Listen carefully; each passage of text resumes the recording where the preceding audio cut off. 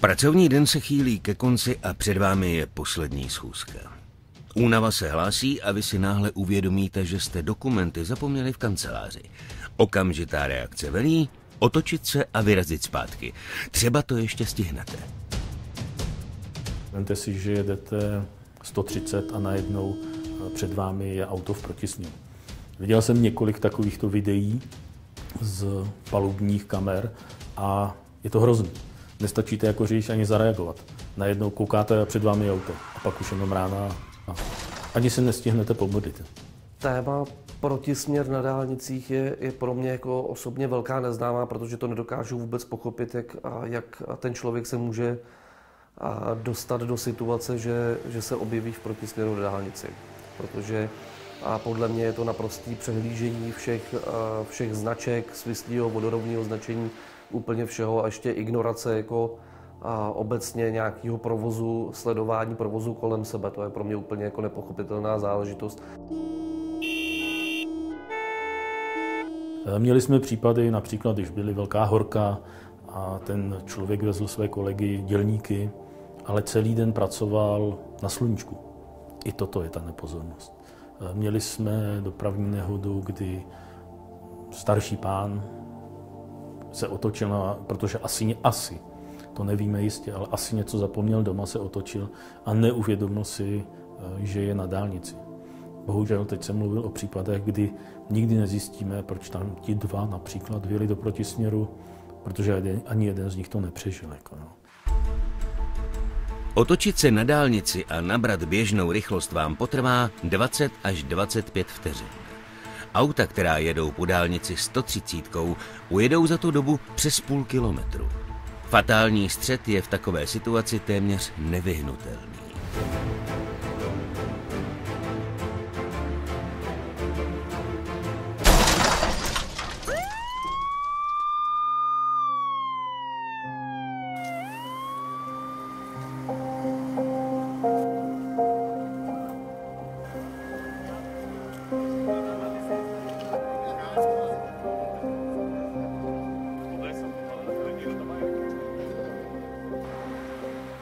Pokud se eh, dozvím, že eh, v úseku, který je bezprostředně přede mnou, se pohybuje nějaké vozidlo na dálnici, eh, pak bych měl maximálně spozornit, ale musím si uvědomit jednu věc, že tu informaci například z toho rádia se mohl slyšet já, ale nikoli v dalších 20-30 vozidel, které v souvislé koloně těch vozidel jede. To znamená, to, na, to, na to opravdu neexistuje nějaká, nějaká obecná rada. Musím, musím eh, být pozorný a, a určitě ubrat rychlost.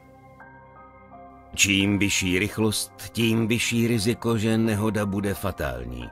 A dálnice jsou plné rychle jedoucích aut. Únava je jedním z faktorů, které mohou člověka dostat do protisměru. A také nepozornost, návykové látky, hledání adrenalinu nebo bezmyšlenkovité sledování navigace. A i když větí do protisměru vypadá velmi nepravděpodobně, v průměru se to u nás stane nejméně jednomu řidiči denně. Lidi slepě sledují navigaci. A to, že vědou do protisměru, oni se ani nevšimnou. I přesto, že jsou tam zákazové značky, tak eh, on si toho ani nevšimne a najednou jede v protisměru. Je to samozřejmě problém, který eh, může způsobit eh, za prvé hromadné dopravní nehody s fatálními následky. Uvědomíme-li si eh, to, jakou rychlostí se eh, může jet eh, po dálnicích a, a lidé, kteří tedy vědou do protisměru, jsou samozřejmě velice nebezpeční. Ozvláště pokud si neuvědomují vůbec to, že jedou v protisměru na té dálnici. Představte si situaci, kdy se proberete ze zamyšlení a všude kolem vás jedou troubící a blikající auta. A všechna jedou hrozně rychle. Napadne vás, že každá dálnice má přece sjezdy. Stačí vydržet to k tomu nejbližšímu a nikdo se nemusí nic dozvědět.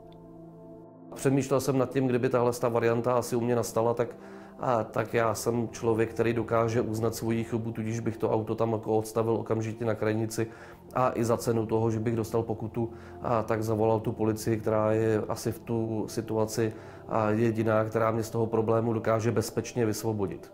Ale furt lepší je, bude-li se mnou projednáván přestupek, než trestný čin, pokud bych někomu ublížil nebo usmrtil, a nebo pokud usmrtím sám sebe, tak už to s vámi nikdo projednávat, nebo s náma nikdo projednávat nebude.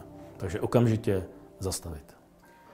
Zapnout výstražná světla, zajet na krajnici, opustit auto a volat policii. Každá chyba má řešení. V případě větí do protisměru na dálnici bude jakákoliv křečovitá improvizace velmi špatným nápadem. A s velkou pravděpodobností také tím posledním, který kdy dostanete. Ty to zvládneš, CZ.